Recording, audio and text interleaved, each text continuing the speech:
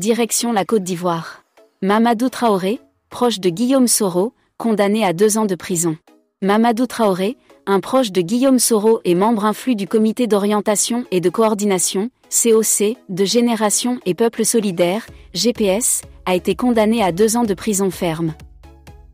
Cette condamnation, prononcée le vendredi 16 août 2024 par le tribunal de première instance d'Abidjan Plateau, résulte de sa publication sur Facebook, jugé coupable de diffusion de fausses nouvelles et de trouble à l'ordre public.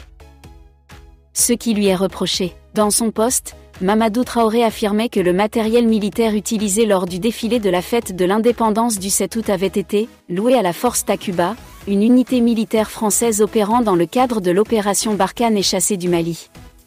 Il critiquait également la gouvernance du président Alassane Ouattara, qualifiant plusieurs promesses présidentielles de doi, mensonges en argot ivoirien.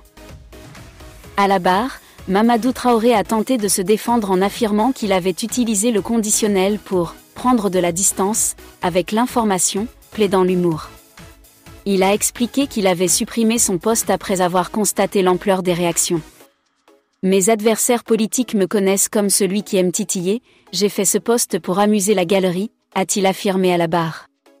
Mais quand j'ai vu que ça partait dans tous les sens dans les commentaires, j'ai tout de suite supprimé la publication, a-t-il expliqué on ne peut pas juger un homme politique et espérer échapper à un procès politique. Cependant, le tribunal a estimé que ses propos portaient atteinte aux institutions de la République et à l'image du chef de l'État.